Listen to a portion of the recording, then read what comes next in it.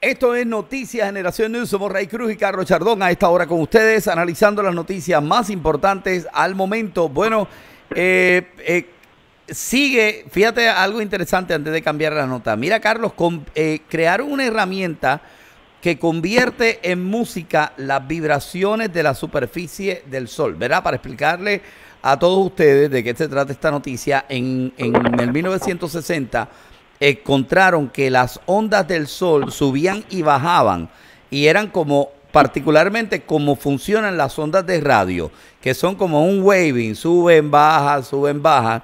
Entonces, eh, ahora nunca habían podido escuchar la música del sol, pero ya están creando una máquina. Todavía no, no han puesto a, ¿verdad? No han puesto a que detecte esas ondas, pero sí ya han probado acá en tierra cómo funcionaría y, pues eh, eh, eh, esa es una de las cosas que, que estaría pasando. Pero nada, vamos, interesante esa nota. En otras noticias que sale por aquí, comités demócratas adquieren nuevos poderes legales para investigar a la administración de Trump. Se reporta también durante el día. Canciller de México publicará informes sobre los acuerdos alcanzados por la administración de Trump. Carlos, no le queda otro remedio al canciller de México porque Donald Trump ha dicho que hicieron un acuerdo secreto. Y, eh, México está diciendo que no hay ningún secreto en el acuerdo. Y pues el canciller, para aclarar, porque la gente rápido, tú sabes, llega a la conclusión de que hay acuerdos escondidos. Pero el canciller dijo que está dispuesto a dar a conocer el documento. ¿Qué te parece? Bueno, es una medida de protección que Israel está tomando, porque son cambios de opinión con la mayor facilidad. Y entonces quieren evitar sacando eso. Y lo que se va a encontrar es son para decir, eso fue lo que yo dije. Sí. Ay, ¿qué fue lo que usted dijo? Ah, lo que yo dije es secreto. Así es. Bueno, Carlos, y, y, y en ese sentido, el, ¿por qué el presidente insiste en que hay un acuerdo secreto? Porque le permite cambiarlo cuando le dé la gana. Ok. Está abierto y todo el mundo lo conoce y él lo cambia. Allá no, este cambió. Ok, ok. Bueno, eh, vamos a ver en otras noticias también que salen durante el día de hoy. Eh, robo de datos de la Oficina de Aduana de Estados Unidos abre debate sobre ciberseguridad del país. Le robaron los datos, Carlos. Así Aduana. ¿Qué pueden hacer con los datos de aduana? La aduana tiene información sobre todo el flujo de productos que se han declarado. Y donde hay mucha seguridad y donde hay poca seguridad, me imagino, ¿no? O eso es otra gente. Ellos lo que tienen es sobre lo que ha entrado. Ok. Y eso ellos lo utilizan para parearlo con lo que ellos encuentran cuando hacen exámenes en la calle. Sí, lo que yo... Ven acá. Ajá. Y esas carteras que usted tiene, déjeme verla. ¿Quién las entró? ¿Dónde está el récord de entrada? Y ese Rolex que tú tienes ahí eh, mira, más bonito. No me pregunte cuánto me costó. Quien me lo vendió me dijo que es original. Dile a Katy que no me pregunte el precio.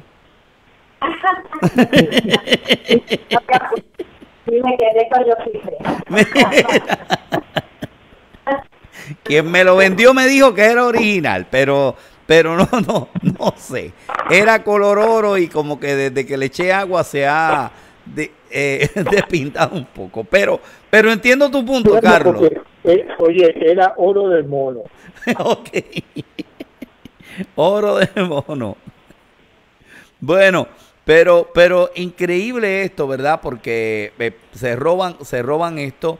Así que lo que nos pone a hablar es cómo, cómo la, la seguridad cibernética está en su peor momento. Bueno, y se va a poner peor porque no hay un esfuerzo concertado para defender los datos que el gobierno tiene. Sí. es una realidad, ¿verdad? y eso cuesta una fortuna. Sí, así mismo es. Bueno, Carlos, la prensa de Honduras reporta que arrestos de migrantes pasaron de 20 mil al mes a 100 mil. ¿Tú crees eso que estén arrestando 100 mil inmigrantes al mes? 100 mil es mucho. ¿En dónde? Bueno, vamos, vamos a leer la nota que, que dice la prensa de Honduras, el diario La Prensa. Dice, eh, dice, nada ha logrado desalentar los migrantes el prender el peligroso viaje ilegal a Estados Unidos. Menos del 20% obtienen asilo. Dice, ni el anuncio de la militarización de la frontera con Guatemala y México, ni las amenazas y los castigos anunciados por el presidente Donald Trump han desalentado en los últimos años a los miles de migrantes que cruzan ilegalmente la frontera. Dice, cuando Donald Trump llegó a la Casa Blanca en enero del 2017, los arrestos en la frontera no superaban los 20 mil al mes. Desde entonces han aumentado constantemente, superando los 100 mil en marzo y abril. Bueno, esperemos que cuando dice 100 mil en marzo y abril se refiera a 50 mil por cada mes, pero con todo y eso es mucho. uno de los datos que nosotros habíamos dado antes, los meses entraron 105 mil. Ahora que lo estén arrestando es otra cosa. ¿Qué eh, quieren decir? Mira, eh, eh, es, por mes, es por mes. acá, te pongo esta listita y sigue camino. Porque ellos espacio donde ponerlo ya no, tienen. Espacio no tienen. Espacio no tienen. Arrestar quiere decir que presentaste, te puso una listita y te vuelves para México, pero ya estás en la listita y ya tú entraste aquí y cuando llegue tu día te vamos a llamar. ¿Y cuándo va a ser eso? Bueno, aquí a 20, 25 años. Mientras tanto, México tiene que ocuparse. Oye, esto va a seguir saliendo en lo que la estrategia que ha diseñado el presidente de México comienza a ponerse en vivo que es la situación que tiene México, donde va a mandar 16, 14, 16 mil guardias a la frontera de la Guardia Nacional, que eran los que iban a estar esperando preliminar el narcotráfico dentro de México. Así que vamos, el resultado es que van a entrar menos hondureños, guatemaltecos y salvadoreños y va a haber más y va a haber más personas uh, negociando con drogas en México sin que los toquen. Ese es el problema. Hay, hay que desvestir un santo para vestir otro. Y México no ha tenido más remedio que esto. ¿Cuántas personas tú dijiste ayer que habían matado en el fin de semana? 80. Ok. Vamos a ver eso en los próximos meses que va a subir a 80 diarios y a 100 diarios. Bueno, Carlos, eh, hablando de esto, porque la guerra económica sigue, el presidente Donald Trump este día martes eh, lanzó un tuit atacando a la Reserva Federal pidiéndole que celebre su próxima reunión. Dice que el Banco de las Reservas Federales eh, no ha trabajado para fortalecer el dólar y dice esto por haber subido los tipos de intereses demasiado rápido. Sin embargo, está diciendo en el tweet que Europa está moviéndose más rápido. Dijo, no tienen ni idea, afirmó Trump. El comentario de este martes lo hizo una hora antes de la apertura de Wall Street. En el mensaje que colgó en la red social, también acusa a Europa de estar devaluando el euro frente al dólar, poniendo a Estados Unidos en una gran desventaja. Ya este lunes, en una entrevista con la cadena financiera CNBC, se había quejado de que los miembros de la Fed no lo escuchan. En el tweet en el que vuelven a atacar a la Fed, el mandatario enlaza a un artículo de opinión publicado por Bloomberg que expone las dificultades de las autoridades europeas para gestionar la masa de turistas que visitan monumentos tan populares como la Catedral de Notre Dame o las Ramblas en Barcelona, el dólar no registró cambios pese a los comentarios de Trump favorables a la depresión. Pero Carlos, una pregunta, él lo que quiere es que el dólar baje. ¿Pero por qué? ¿No es, no es mejor fortalecer el dólar? No, señor. Si el dólar baja, lo que tú comprabas antes por 10 pesos lo vas a comprar por 8. Claro, si el dólar baja, vendría más gente en vez de Europa a Estados Unidos de vacaciones. Europeos se irían más a Estados Unidos de, de vacaciones, no americanos a Europa, Claro, europeos a Estados Unidos porque pueden comprar más con el euro.